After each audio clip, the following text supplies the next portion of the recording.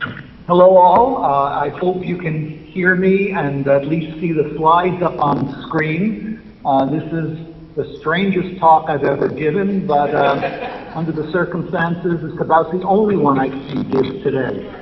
Um, let me give you a good idea of why I'm not in Jacksonville right now. This is what happened to our house last week in uh, Hurricane Sandy. Uh, I had hoped to get away despite that. Uh, this is this morning. Looks sort of at first glance like a Christmas card until you notice how that tree is leaning over with the six inches of snow. Uh, what's keeping it up and has been all night is a power wire at the uh, upper right. And um, life is interesting. However, certain practitioners are probably out there this minute doing and using their mathematical modeling techniques, but I want to talk about the uh, classroom side. Uh, anybody has the overwhelming uh, temptation to take careful notes. I don't recommend it. I think it's a lot easier if you simply uh, go to my website uh, and download it. You're more than welcome to use it to share with others, uh, your colleagues, your uh, administrators, or whoever.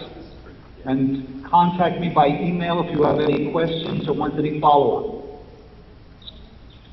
Let's talk about courses at the college algebra and pre-calculus level, but it also has strong implications for developmental algebra courses.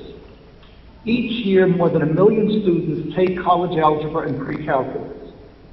The focus in most of these courses is on preparing the students to go on to mainstream calculus. But in reality, only a very small percentage of these students ever go on to start calculus. It's not easy to get much information, but based on several studies of enro enrollment flows, some interesting things emerge. Currently, on the order of 5% of the students who start, let me emphasize that word, start college algebra, ever go on to start Calculus 1. The numbers are a trifle higher in the two-year colleges. My guess is because students tend to be a little older, a little more mature and motivated, and you probably have a higher percentage of full-time faculty teaching the courses. Despite all of that, the typical DFW rate in college algebra is typically well above 50%. 90% is not unheard of. Virtually none of the students who pass college algebra ever go on to start Calculus 3. And perhaps on the order of 30 to 40% of the students who pass pre-calculus go on to start Calculus 1. The provost of one of the largest two-year colleges in the country, not too long ago, singled out their college algebra course as the one course that by far is most responsible for the school losing students each year. This is a place where the DFW rate in those courses is at the 90% level. But it's not just in the colleges in San Antonio, the mayor's Economic Development Council a couple of years ago identified college algebra as one of the major impediments to the city developing the kind of technologically sophisticated workforce that it needs in order to be to maintain itself and to grow as a techno technology center. As a result, the mayor appointed a special task force that includes representatives from all 11 colleges in the city plus people from business, industry, and government, with the charge that they have to change the focus of the college algebra courses to make those courses more responsive to the needs of the city, the students, and the local industry. I don't like the idea of our being told what our courses have to be, especially by people from outside the colleges, outside of academia. But then why do so many students, over a million a year, take these courses? Are these students well served by standard college algebra courses? I think not, as you will see. And if they're not well served, what kind of mathematics do these students really need? Those are some very deep questions. Well, part of it is, as we give these courses, that they're focused on getting students to, college, to calculus. And at many colleges, calculus is treated as a holy grail. It's the ultimate goal for virtually all students, even though we know that only a minuscule number get there. Much the same can be said about many of the high school programs. They're designed to prepare and lead students toward calculus. I'm reminded, though, of a scene from the third Indiana Jones movie. Remember the knight whose sole purpose through the centuries was to protect the Holy Grail from everyone? Do we as mathematicians want to play that same role, fending off the unwashed? I don't think so. But calculus itself is under pressure. Fewer than 500,000 students take calculus in college, a number that at best has held steady over the last 20 years. If anything, I think the number has dropped slightly. On the other hand, on the order of a million students take calculus in high school each year, a number that's been growing at the rate of better than 6% a year. We have twice as many students taking calculus in high school. Calculus is quickly becoming a high school offering, not a college offering. And as a result, we can foresee not too distantly the day when college calculus becomes the next developmental offering.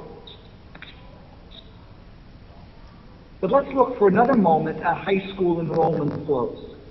Historically, about 50% of students who successfully complete any course in high school went on to the next course. However, over the last 15 years, the continuation rate from introductory to intermediate algebra has increased dramatically to about 85% rather than 50%, largely due to implementation of NCTM-inspired courses and curricula. While high school students are taking far more math, our developmental enrollment has been increasing at alarming rate. There's a huge disconnect there. Why are more students coming out of high school having had more math having to take remedial and developmental courses. Well, my feeling is that developmental programs and traditional algebra-oriented courses in college are a great abyss into which millions of students are pushed each year. An abyss in which vanishing few of them ever manage to climb out. And I suspect in many cases it's the placement exams, particularly the national exams, that are designed to push kids into the traditional algebra development courses. The reality is we are offering the wrong courses to the wrong students for the wrong reasons. What do our students really need? The reality is that virtually none of the students we face in these courses today or in the future will become math or STEM majors. They take these courses to fulfill gen ed requirements, especially at the universities, or requirements from other disciplines. What then do the other disciplines really want their students to learn and bring out of our math classes? To find this out, the MAA Crafty Committee, that's the Committee on Curriculum uh, Reform across the first two years, has held a series of workshops with leading educators from about 23 quantitative disciplines to discuss among themselves and then to report to the math community on the current mathematical needs of each discipline. The results of these sessions have been summarized in a pair of MAA reports volumes that make very, very interesting and intriguing reading. Let me give you a bit of a feel for some of the things that came out of it, recommendations from a few of these disciplines. And keep in mind what they're saying about our courses. Common threads that came through from virtually all of the disciplines is that conceptual understanding rather than rote manipulation is important. They see a need for realistic applications via mathematical modeling that reflect the way mathematics is used in other disciplines and on the job. Statistical reasoning is the primary mathematical topic needed for almost every other discipline. There should be strong emphasis, they recommend, on data and data analysis. And finally, they recommend the use of technology on a routine basis, though typically their routine technology is Excel, not graphing calculators. Other than math, Nobody else has a heavy focus on graphing calculators. But some of the specific comments are well worth hearing. The physicists, who one would expect to be the most mathematically demanding, they certainly are when we talk to them, said, students need conceptual understanding first and some comfort in using basic skills. Then a deeper approach and more sophisticated skills become meaningful. Conceptual understanding is more important than computational skill. And computational skill without theoretical understanding is shallow. The biologist, extremely fast growing client discipline of ours, said the sciences are increasingly seeing students who are quantitatively ill prepared.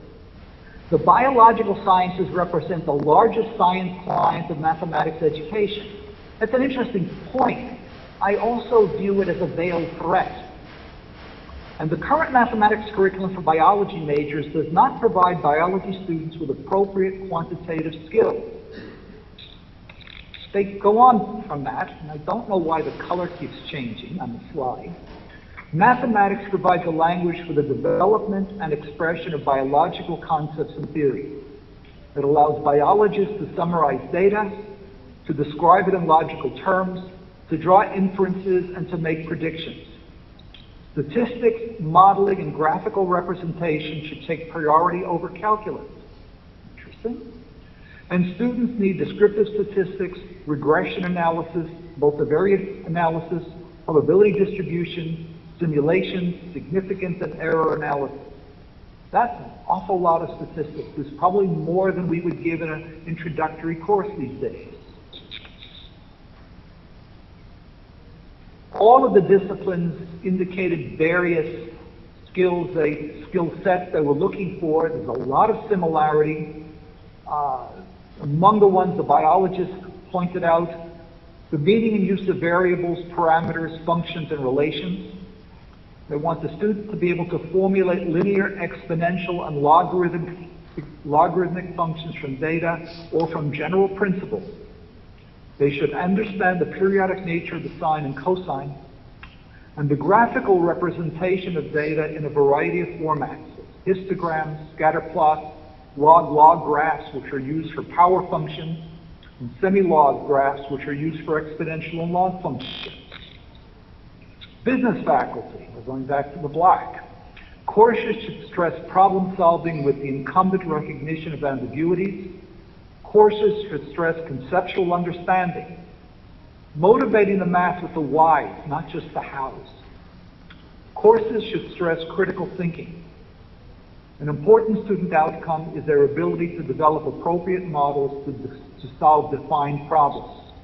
You hear these same words over and over, the concepts, the data, the statistics, critical thinking.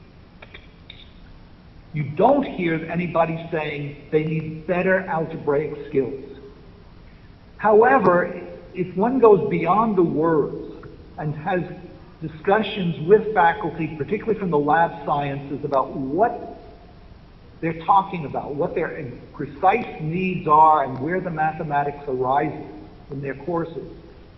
It becomes clear that most courses for the non-majors in the other fields, and even courses for majors in most scientific areas, use very little mathematics in class. The mathematics that arises is almost exclusively in the context of the lab where the students have to analyze the weekly experimental data. And it is then that their weak mathematical skills become dramatically evident. When you talk to people in the social sciences, a very similar pattern emerges. They don't have lab data, but they do use statistical reasoning and statistical methods very, very heavily. And most of the math deals with working with interpreting data that students find often on the web or published reports. And again, that's where their weak mathematics shows up. Uh, these have some very important implications for algebra level courses. Very few of the students we see really need a skills-oriented course. If they haven't gotten it in high school, it's going to be too late. There's going to be too few that we can harvest and talk into going further in math programs to be worth the cost to all the other students. What almost every one of the students we see needs is a course that is modeling based, one that emphasizes realistic applications that mirror what they will see and do in their other courses, one that emphasizes conceptual understanding, and I'll talk about what that means in a couple of minutes. An approach that emphasizes data and its uses, including both fitting functions to data as well as more traditional statistical methods and reasoning. They need courses that better motivate them to succeed in general and that better prepare them for other courses. If all we do is focus on developing routine manipulative skills without developing conceptual understanding, I've said this before, and you've heard it from me before, I apologize, but I think it's worth hearing again. All we're going to produce are students who are no more than imperfect organic clones of the TI-89 calculator. And it is not fair to those students to be spending the kind of money and the kind of time for a two or a four-year degree and come out of it with nothing more than what a $130 piece of machinery can do. This is an article that appeared in the opinion page of the New York Times Sunday magazine over the summer. It's written by a sociology professor who asks the question, is algebra necessary? It is an article that I think everyone in the mathematics community needs to read for a number of reasons. In this lead paragraph, and it's a long article, I was in, uh, I think in July that it appeared. He says in both high school and college, there are millions of students daily who expect to fail these courses, but why are they subjected to this ordeal? And he finds himself moving toward a view that we shouldn't subject them to this ordeal. And he goes on to discuss in detail why a traditional algebra course has very little to offer to the overwhelming majority of the students, certainly that the social sciences see. When you Google the article, you will find that there are many reports of you know, where people are talking about this article having generated a national discussion. Well, I'm not sure there's been a lot of national discussion about this in mathematics. I think the discussion is raging outside of math for the most part, although apparently Lynn Steen is writing an article on this for the next issue of the MAA's Focus, which should be out any day now. Might be worth looking at that. But picture that provost I mentioned a few minutes ago, looking at 90% DFW rates in college algebra, and suddenly seeing this theme that the social sciences and other areas don't really think that algebra course is important or necessary. What do you think is going to happen? I think what's going to happen is that there are going to be a tremendous number of places where the departmental requirements for our courses and even the gen ed requirements are going to start dropping. What will your department do if half of its sections are lost because the requirements that force students in there no longer apply? Does anybody seriously think that you can have the re requirements reinstated once they are dropped if you then change the focus in the courses to what the other people today want? Going to be too late. I think it's essential that we in mathematics become very proactive in changing the focus of our courses before extremely unpleasant things happen from external science. What do our students really need? I think a focus on mathematical modeling produces the right courses for the right students for the right reasons. And let's see what this involves. You can't do mathematical modeling without a very strong simultaneous emphasis on conceptual understanding. The two are hand in glove. You can't do one without the other. But what does conceptual understanding really mean? How do you recognize its presence or its absence? How do you encourage its development? How do you assess whether students have developed conceptual understanding? Or are you beating your head against the wall when you try? Well, let me give you one experience. Uh, my wife department tried an experiment a few years back where they gave half of their college algebra trig courses were given a traditional algebra-focused approach. The other was a reform approach where the emphasis was on conceptual understanding and math modeling. There were 10 common questions on the, com on the final exams for the two groups.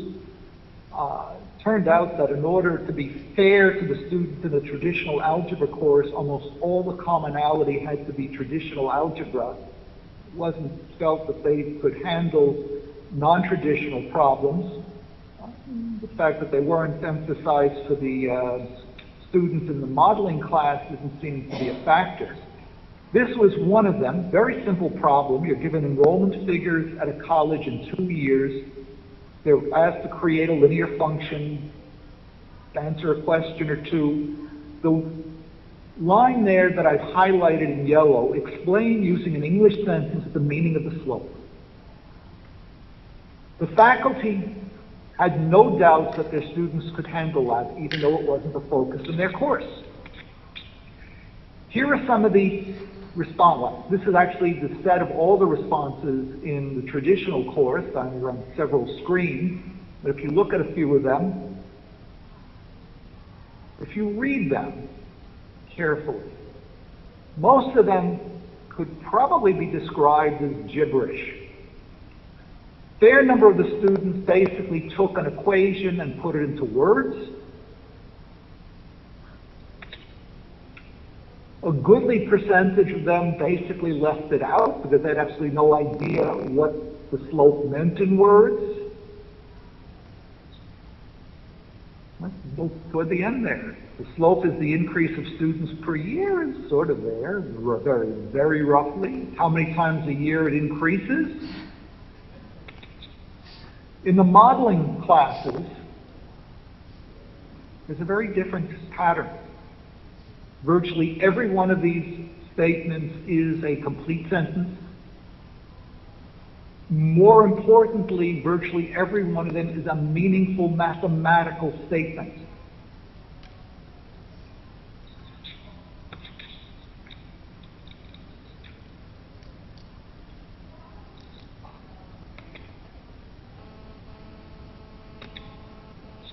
Both groups had the comparable ability to calculate the slope of a line.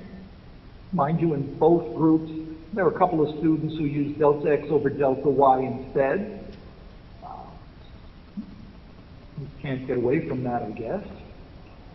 But I personally think that it's far more important that students understand what the slope of a line means in a context. Wherever that context arises, whether it's in a math class, in a class in other disciplines, or eventually on a job. And I can assure you from my discussions with people in other disciplines, they have to know that. This comes up incredibly often in other fields. But unless explicit attention is devoted to emphasizing the conceptual understanding of what the slope means, most students are not able to create viable interpretations on their own. And without that interpretation and understanding, they likely won't be able to apply the mathematics to realistic situations. We're having them jump through hoops and do exercises by the score, but it's not taking and it's not transferable. And if students can't make these connections on their own with a concept as simple as the slope of a line, they're certainly not going to be able to create meaningful interpretations and connections of more sophisticated mathematical concepts. For example, what is the slope, what is the significance of the base of an exponential function? What does the power in a power function represent? What do the parameters in a sinusoidal model represent? What do the factors of a polynomial mean? What's the significance of the derivative or the definite integral? Unless we pay very clear attention to focusing on these things, our students are not going to be able to get anything useful out of our courses. But the issue of statistics presents us with a very important challenge. In many ways, the two-year colleges are in a much better position to deal with that challenge than most universities and many four-year schools. Almost all the universities have a department of statistics, and no other, nobody else on campus, especially the math department, is allowed to touch statistics. At many two-year schools, statistics is a bread and butter offering. But our students need lots and lots of statistics, and we have to emphasize that more. It's not just a matter of a single course. I think a more intelligent solution is to, in addition to that course, integrate the statistical ideas and methods into math courses at all levels. Many of you, I'm sure, have heard of the Common Core curriculum. This is a curriculum that, as the last I heard, has been officially adopted by at least 45 states and a number of territories. It's the closest thing we have to a national mathematics curriculum. The Common Core curriculum recognizes the importance of statistics and it calls for introducing students to, to statistical ideas and methods starting in the sixth grade. And I'm not talking about just means, medians, and modes. By the end of 12th grade, every student is expected to have seen the equivalent of a very solid introductory statistics course. Probably considerably more material than is in most of our college courses today. And certainly much of it is going to be offered to the students in high school at a considerably more sophisticated level than is usually done in most of our current courses. The likelihood is that most programs based on the Common Core will introduce statistics via independent units that are not connected to other, to the algebra-oriented topics that make up the bulk of the curriculum. But I personally feel, and I've used some of this, that it's much more effective if statistical ideas are integrated as natural applications of algebraic concepts and methods. This works very, very nicely for a number of reasons. But rather than getting into some of those details, let's step back a little bit. Students see the equation of a line in pre-algebra class in high school or junior high school. They see it in elementary algebra, in intermediate algebra, in college algebra, and pre-calculus courses.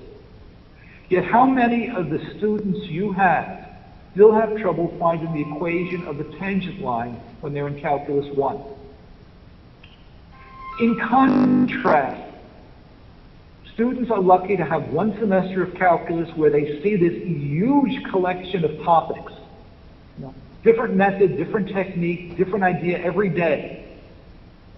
The ideas are much more complex than algebra. They're far more varied. They're highly, very counterintuitive. But after that one semester exposure, the students are expected to understand and use a wide variety of the statistical techniques and ideas in all their other courses. It seems very unreasonable to me.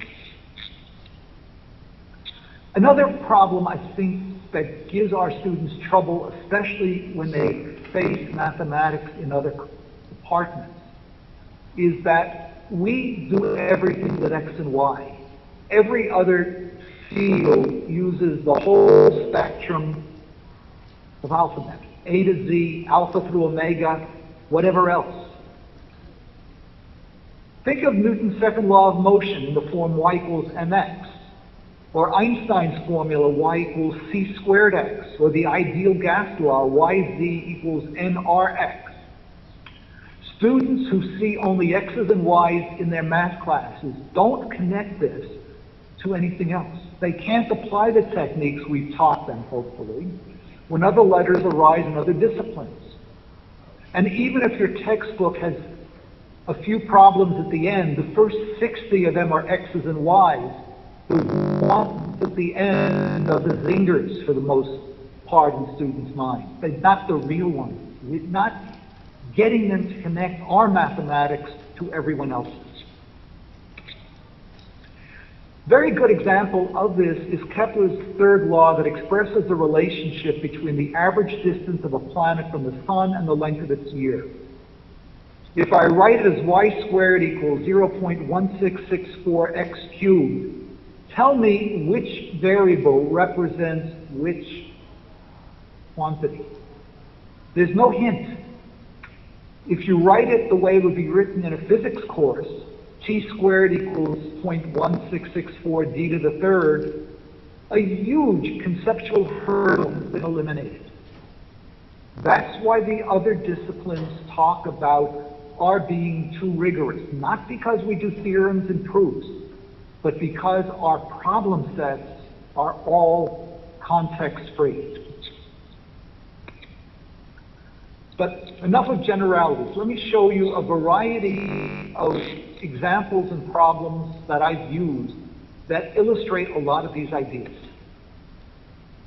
First topic I would do in, say, a college algebra course is to introduce students briefly to data and statistical measures. For example, here is a table and a histogram showing the monthly historical rainfall in Orlando. If you think about it, both the table and the chart are examples of a function. Most of our students, I'd say all of our students, have seen the idea of a function before. When we repeat it in the same fashion, it doesn't penetrate. Hit them from a totally different point of view with something that makes sense to them, it changes the whole dynamic. Or, here's a table of data on the average worldwide temperature in degrees Celsius in various years. And some of the questions I would ask the students to do is to decide which is the independent and which is the dependent variable. They find that hard. What are appropriate scales for the two variables if you were to create a scatter plot, which basically is question about the domain and range? What letters would you use? And what are some predictive questions that are natural that you would like to answer? Next topic I would get into is the behavior of functions, tables and graphs especially. Talking about things like whether the function is increasing, decreasing, what turning points are, is it concave up or down, what are its inflection points? I'm talking about algebra, not a calculus course. No derivatives, but just descriptive ideas of what these things mean. For example, here's a graph that shows the profit from an investment over time. When is it at a gain? When, when do you have a loss? When is it increasing or decreasing? When is it concave up or down? Where are the turning points? Estimate the inflection points. Students at this level easily take these ideas. They make sense to them and they can see the questions as being useful. Or I can give a table of values and ask them to estimate where the inflection points are. That's not too trivial. I think your calculus students would have a challenge with that. Third topic, I would look at linear functions, emphasizing the meaning of the parameters and the idea of fitting a function, a linear function to the data. Hold I went too far. The snowy tree cricket, which lives up in the Colorado Rockies, could also be living here on Long Island today, has a chirp rate which is related to the temperature. One of the things I guess field biologists do is send their graduate students out to collect data on interesting topics. Can you find a linear function that fits this? What's the meaning of the slope and the vertical intercept? What are practical values for the domain and range? Some predictive questions. Some of you are probably looking at this and saying, that's just too good to be true. I don't believe it. I don't either, to be honest, but apparently this is in the Encyclopedia Britannica.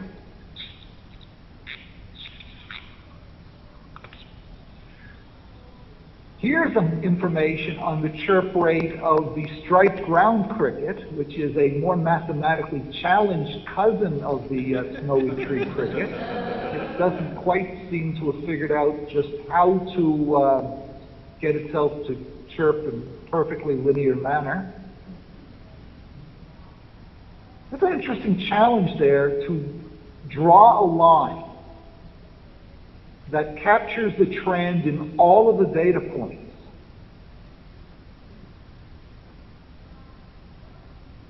Find its equation and be able to use it.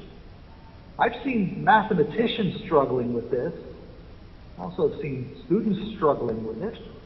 Admittedly, all the graphing calculators will do this at the push of a button. Certainly Excel and other sophisticated packages will do it for you or them. But if you don't do something like this by hand, you don't really appreciate what the technology is doing for you or what its value is. The regression line is defined as the line that comes closest to all of the data points in the least squares sense, which means that the sum of the squares of the vertical deviations is a minimum.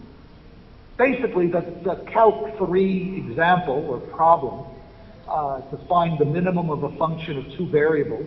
It can be done algebraically. I have, but I wouldn't recommend doing that in class. But this is a concept that the students really pick up on. And if the technology is then used in an exploratory way, it really becomes a, a game and a challenge for them to try to find parameter values that minimize or get the, some of the squares as small as possible. Next topic, nonlinear functions, particularly exponential growth and decay, power functions, logarithmic functions and data systems. After linear functions, the most common and useful families of functions are in order. In my view, and I think most practitioners would agree, exponential functions, power functions, logarithmic functions, sinusoidal functions, and down in fifth place, and perhaps I would push it further down because I think the normal function is a lot more important in practice, are polynomials. In traditional math courses, however, the major emphasis is on polynomials because they provide so many wonderful opportunities to practice algebraic skills. Nobody ever wonders what those skills are good for in the long run, what the practice is considered important. Well, picture boot camp for the Marine Corps. Push-ups are also important. I don't know where they lead. When you have a linear function y equals ax plus b, successive differences for fixed x spacing are all constants. That constant difference is related to the slope of the line. If the spaces and the x's is one unit, it is exactly the slope. When you have an exponential function of the form y equals a times b to the x, the successive ratios are constant. When that constant ratio is greater than 1, you have an exponential growth function, and the base is a growth factor. When the ratio of successive values is less than 1, you have exponential decay, and you have a decay factor. Typical kind of exponential problem here for growth. In two years, different amounts of, in this case, number of billions of metric tons of carbon dioxide were emitted into the atmosphere in the U.S. Write an exponential function to model it and predict it at some point into the future. Not too far into the future because you can't extrapolate too far. And that's an important lesson students need to know. And that limitation on extrapolation means you've got to address in every single problem the meaning of the domain and the range. It's not just avoid the places where you divide by zero or take the square root of a negative number. Every realistic problem is limited to some finite domain and range. Another lovely example that my students all manage to relate to is the idea of modeling drug levels in the blood. Anything you take, any medication or drug is washed out of the bloodstream, usually through the kidneys, but each drug is washed out at a different rate that's characteristic of that drug. For example, in any 24-hour period, about 25% of any Prozac in the blood is washed out, leaving 75%. In every class I've used this, there are always students who either themselves or probably talk about somebody they know takes Prozac. It's common. If it's not Prozac, it's anything else. think of steroids. Let's model this. If we start with initial amount D0 of 80 milligrams, after one day or 24 hours, 25% of that is removed, leaving D1, which is 0.75 of D0. Turns out to be 60 milligrams, but don't worry about the numbers yet. After a second day, 25% of D1 is removed, leaving D2. 0.75 of D1, or 0.75 or 0.75 D0, or 0.75 squared times D0. After a third day, the level of the drug works out to be 0.75 to the third times D0. And in general, after n days, the amount of Prozac left is 0.75 to the n times the starting value d0.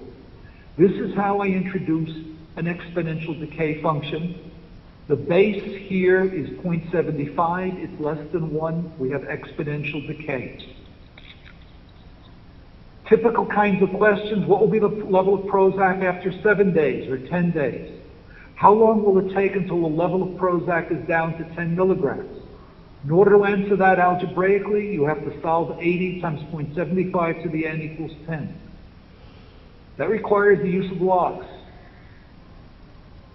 I am I tend to downplay in my remarks the value of manipulative skills, but certain manipulative skills are incredibly important and they come up repeatedly, not just one day.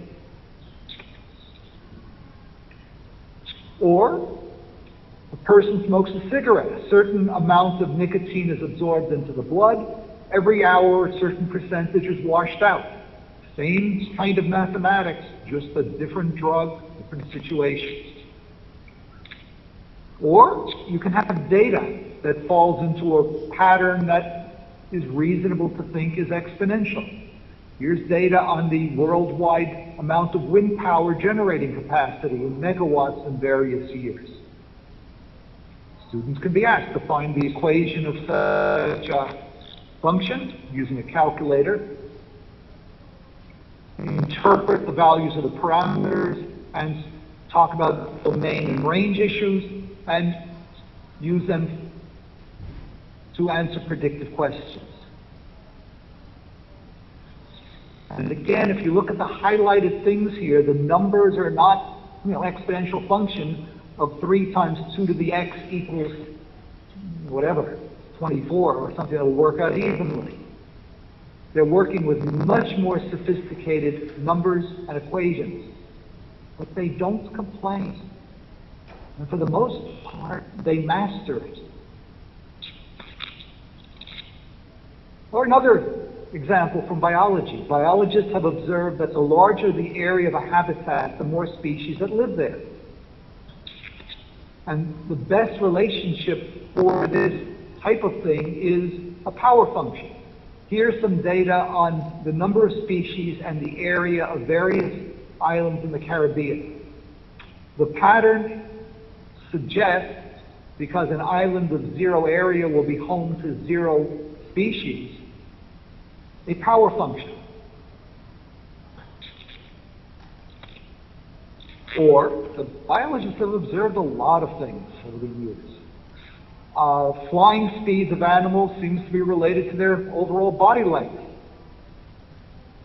And again, a power function is the model of choice. All right, I'm sure you've all been sitting there waiting for polynomials but I'm not going to show you anything about factoring polynomials, more or less. Here's some data on the, over the first eight, well, dozen, 15 years or so of the AIDS epidemic, the cumulative total number of cases reported in the United States. When you look at the data, certainly looks nonlinear.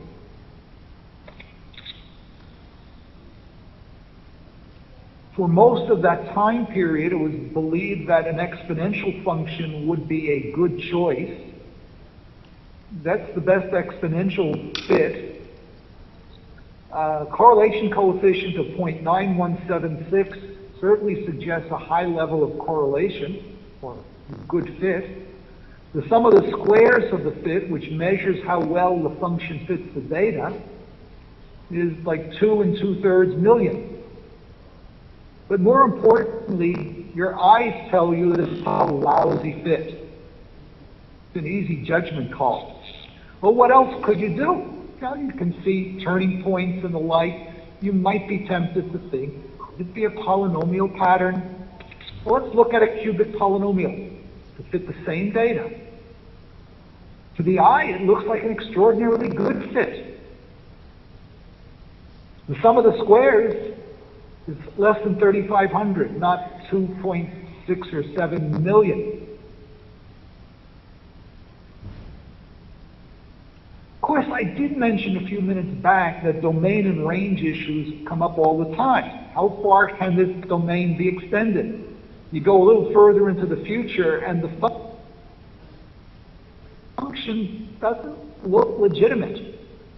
What's its uh, leading coefficient, by the way? The concepts are important. Periodic behavior from the point of view of the sine and the cosine. Have only a couple of minutes, so let me be fairly fast. Here's a function that I created very quickly to give the number of hours of daylight on any day of the year. January 1st is t equals 1 and so on. Here in Jacksonville. In fact, I would walk into class, put this on the board, and ask my students to tell me what the different numbers represent in a practical way. Each of those parameters has a very distinct meaning. Here's a chart you can get on weather.com for any location. This is also Jacksonville that shows historic high and low temperatures each month. You also get precipitation. Here's another chart you can get online easily that shows a 48 hour period with the tide cycles. Each of these things is a periodic or an almost periodic phenomenon. Each of them can be modeled with a sinusoidal function, either a sine or a cosine. To do it, you have to understand what those parameters mean. You have to understand them very deeply. But given any of these displays, I would have no hesitation asking my students to estimate the period estimate the maximum, the minimum, and therefore find the midline. So I probably wouldn't ask them to find the maximum minimum. I would say, what's the midline? Estimate the amplitude. What's the frequency? Estimate the phase shift for a cosine or a sine. Another thing I have my students do, here's data on average daytime high temperatures in a particular place every two weeks. Create a mathematical model sinusoidal function that fits it. These are challenging problems, intellectually challenging. But the students can do it and they understand it. Types of problems I would give on an exam in addition to data problems. Given average daytime high temperature somewhere, ranges from a low to a high, and tell them uh, the coldest and the hottest they are, sketch the graph over several years so they can demonstrate the periodicity, write a formula, find domain and range, tell me what the parameters are, do some predictions. For more details, including expanded, I didn't use everything, I chop a lot out to fit, but please feel free to download this from my website or contact me directly for any more information. But let me go back to what I titled this presentation. I think very seriously that mathematical modeling is the right approach to give the right courses to the right students for the right reasons. And that's what we're paid to do. That's our commitment. And that's what I hope all of us would do. Thank you very much. and enjoy your stay in uh, sunny Florida. And um, if anybody wants a shovel-ready job, my front driveway is waiting. Thank you again, and again, uh, well, not again, but I really want to thank both Sandy uh, and Kevin for all they've done to make this possible. This has really been a- something done on the fly, and uh, really is a testament to their willingness to put themselves out tremendously. I really thank them, and please give them a tremendous uh, round of applause. Thank you all.